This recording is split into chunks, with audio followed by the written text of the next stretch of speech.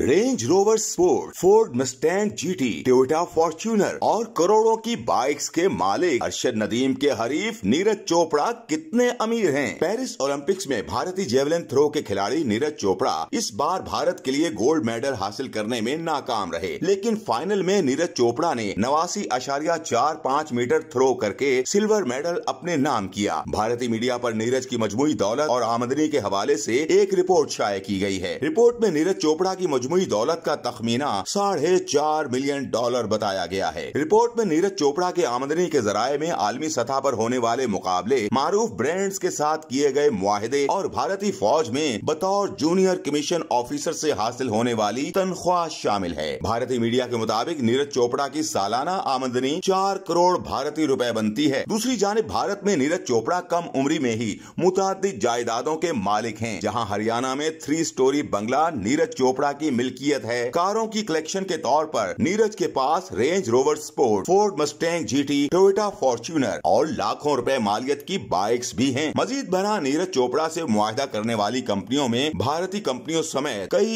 international companies भी शामिल है